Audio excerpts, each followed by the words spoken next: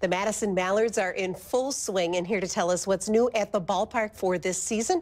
We have Tyler Isham from the Madison Mallards. Good morning to you. Good morning. Thanks so much for having me. It's our pleasure. So, Tyler, every year you come up with something new and fun for the ballpark. What's new this year? Yeah, so I think the biggest new feature is our double-decker pizza bus that we have.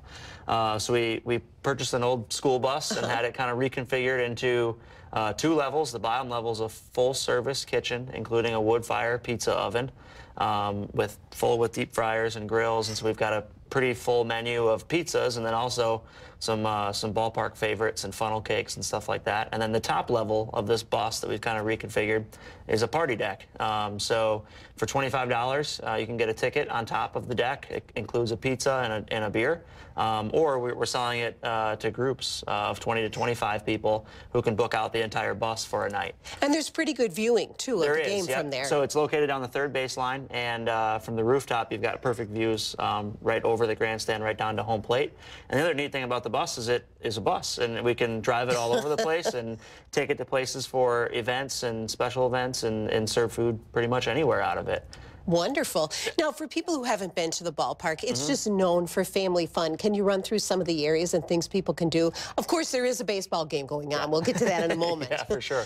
So the game obviously is, is great, um, but we, we like to think uh, of the ballpark as an entertainment venue. And, and if the team doesn't do well on a night, we still want people to be entertained by what's going on off the field.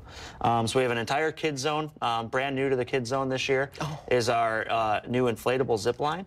Uh, so it's exactly what it sounds like. Uh, kids have a little mini climbing wall that they climb up, and they can grab onto the zip line and zip line down 50 feet. Wow. Um, down to the bottom, and uh, the, I mean it's really popular. Uh, it's been really really popular this, this early season, and the kids just just love it. Um, then we've got our bounce house our Oscar Mayer Wienermobile slide, and then a couple other kind of kid-friendly games as well. And a whole area, too, where families can come and sit on a blanket. So mm -hmm. if kids need to get up and move around during the game, they can. That's right. We've got the Meriter Physicians Plus backyard, which is a huge grass berm out in left field. And any ticket in the stadium has access to the backyard out there. Mm -hmm. um, so if you did come and kids started getting rambunctious sitting in the sure. seats, take them out there, let them run around a little bit, get some of that energy out. Game. Yep, exactly, and still be able to see the game. Well, let's talk a little bit about the team this mm -hmm. Year. How are they doing? Um, we're doing pretty well. We're, uh, you know, the, the first half will wrap up here early this week. And uh, we've got a couple local players. Um, Nate Hoffman and Tony Butler are both Sun Prairie uh, mm -hmm. high school graduates. Nate goes to Middle Tennessee State University. And then Tony Butler uh, is just finishing up at Madison College, uh, his second year. Um, so Tony's a, our shortstop pretty okay. much every single day. And then Nate's one of our starting pitchers. So um, the team's doing really well on the field. Uh, we're hoping they can close out the first half here and, and win the first half. We're right in contention.